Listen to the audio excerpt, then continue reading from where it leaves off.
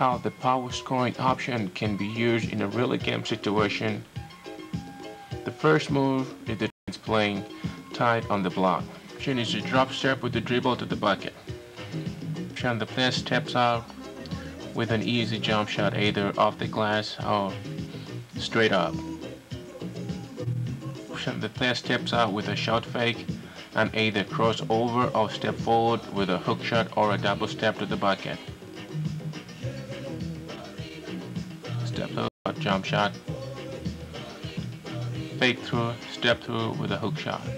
Option, the player will drop step with a hook shot away from the defense towards the baseline. Just get the ball, drop step with a hook shot.